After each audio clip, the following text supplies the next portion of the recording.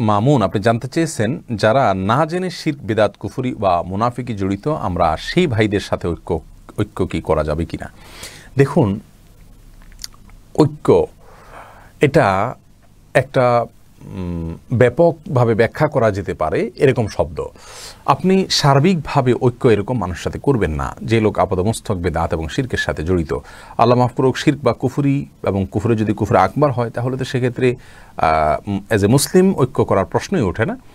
কিন্তু যদি কোনো বৃহত্তর স্বার্থ সংশ্লিষ্ট বিষয় ঐক্য করবার প্রয়োজন হয়, তাহলে সেক্ষেত্রে ঐক্য করা যেতে পারে। বিশেষ করে কুফুরি যদি কুফুরে আকবর পর্যন্ত না যায়, বেদাত যদি কুফুরি পর্যন্ত না পৌঁছায় তাহলে সেক্ষেত্রে সাধারণ বেদাত বা সাধারণ কুফুরে আসগার, এই টাইপের অপরাধে জড়িত ব্যক্তি বা ব্যক্তিদের সাথে বৃহত্তর স্বার্থে বিশেষ কোনো ক্ষেত্রে ঐক্য হতে পারে।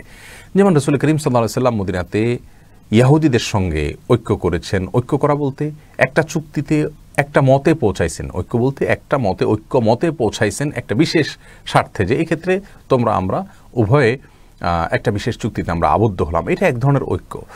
আর বৃহত্তর সর্বক্ষেত্রে ঐক্য, এটা তো সম্ভব নয়। বিশেষ করে যে সমস্ত লোকেরা বেদাত এবং শির্ক এবং কুফুরের দিকে আহ্বান করছেন এবং এর মধ্যে নিমজ্জিত, তাদের সঙ্গে বৃহত্তর এবং সার্বিক ঐক্য কোনোভাবেই সম্ভব নয়। তবে যতটুকু সম্ভব, যেমন মুসলিমদের মৌলিক স্বার্থ সংশ্লিষ্ট বিষয়ে আপনার ঐক্যের প্রয়োজন হলো বিশেষ কোনো ইস্যুতে, সেটা অবশ্যই করা যেতে পারে। কাফেরদের সাথে যদি করা যেতে পারে, তাদের সাথে কেন করা যাবে না?